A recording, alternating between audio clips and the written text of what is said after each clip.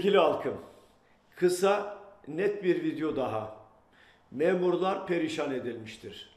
Açıkça söylemek gerekirse tarumar edilmiştir. Evleri barkları viranedir. Borca sürüklenmişlerdir. Ben bu haksızlığa seyirci kalamam.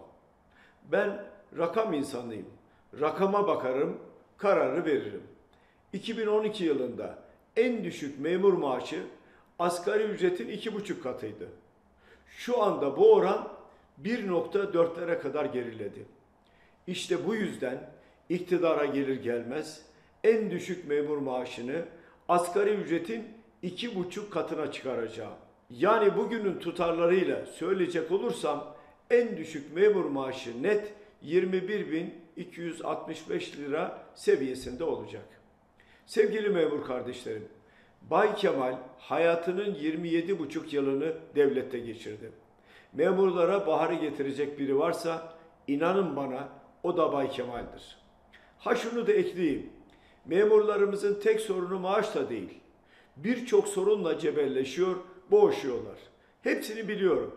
Mesela polislerin çalışma saatleri günde 12-13 saati, ayda 240-250 saati buluyor. Polis intiharlarının arkasında yatan sebeplerden biri de bu.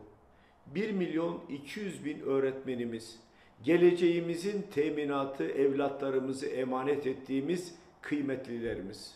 Kalabalık sınıflardan okullarda hijyen sorununa ve malzeme sıkıntısına kadar pek çok imkansızlıklar içinde görevlerini yapmaya çalışıyorlar. Bugün Denizli mitingimizde de söyledim. 15 Mayıs'tan sonra 100 bin yeni güvenlik personeli atayacağız. Atama bekleyen 100 bin öğretmenimizi öğrencileriyle buluşturacağız. Sözleşmeli öğretmen, ücretli öğretmen, kadrolu öğretmen gibi ayrımları ortadan kaldıracağız. Tüm öğretmenler kadrolu olacak. Daha neler yapacak neler bu Bay Kemal. Bekleyin, görün.